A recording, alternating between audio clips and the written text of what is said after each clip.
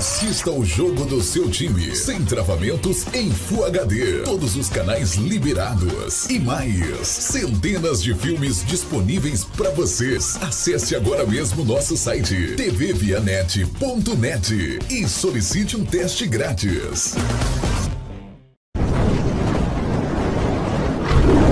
Canal Sou Vitória, o maior canal do Vitória no YouTube.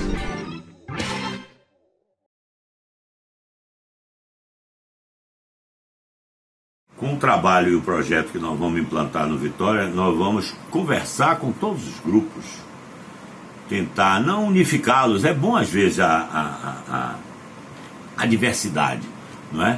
Mas é preciso que todos conheçam esse negócio de futebol. O que eu sinto que esses grupos estão muito distantes do conhecimento do, desse negócio, das dificuldades que temos para nos inserir nesse mercado. Certo?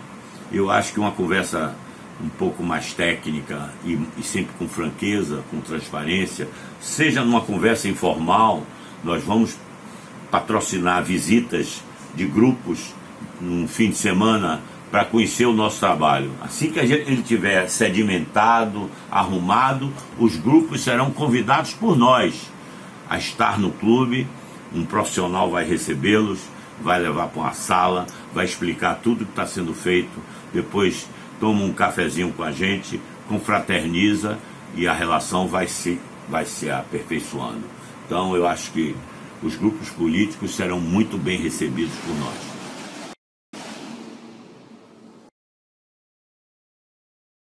Surprise. Eu não posso aqui dizer a você o que eu vou fazer porque não seria nem ético de minha parte. Vocês, como funcionários, não gostariam que eu dissesse aqui se ia ficar ou não ficar eu daria a vocês uma demonstração que eu não estou preparado para a função. Eu acho que eu estou muito preparado para a função. E, e, e, assim que chegar no clube, se tiver que fazer qualquer reforma administrativa, ela será feita primeiro internamente e por ser uma instituição pública, depois irá a conhecimento do, do público torcedor.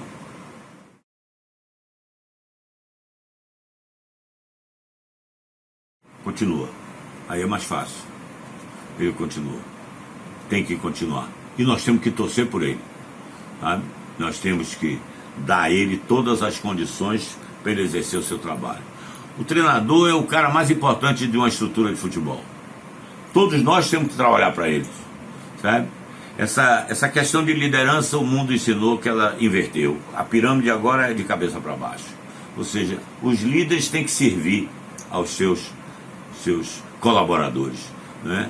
E Tencate vai ser o grande líder, certo? Para receber todos os serviços e as energias que temos para que ele possa desenvolver o melhor trabalho e, e, e, ter a melhor escolha, certo? Então ele terá, tem que ter a fisiologia, a nutrição, a, a psicologia, a, a análise de desempenho, a, todos os órgãos do clube, a nutrição, todos têm que trabalhar para o treinador e ele com certeza tem mais chance de sucesso.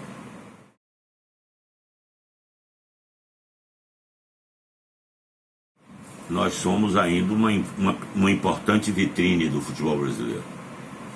E o mercado nos ensinou que você tem oportunidade de contratação de atletas eh, sem precisar ter grandes recursos. Né?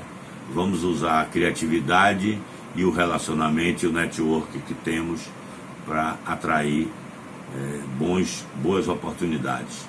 E vamos também é, observar nossas categorias de base. Parece que o Tencate já vem fazendo isso, já tem, revela, tem chamado alguns jogadores. Mas eu gosto de chamar de, de outra forma, não dessa forma, vamos dizer assim, mostrando ao jogador que nós estamos dependendo dele. A, a transição tem que ser uma coisa gradual, natural, sabe? Mas eu sinto, eu fico animado de estar tá vendo jogadores jovens de, de, que tiveram destaque na base, na formação, sendo chamados para nos ajudar. Talvez tenha mais gente ainda. Nós vamos olhar. Nós participamos sempre dos treinamentos, sabe? Nós vamos assistir os treinos, então é fácil para nós é, ouvir as informações, comparar as informações e tomar as decisões. A transição no Vitória vai voltar a ser uma coisa fluida, como foi no passado.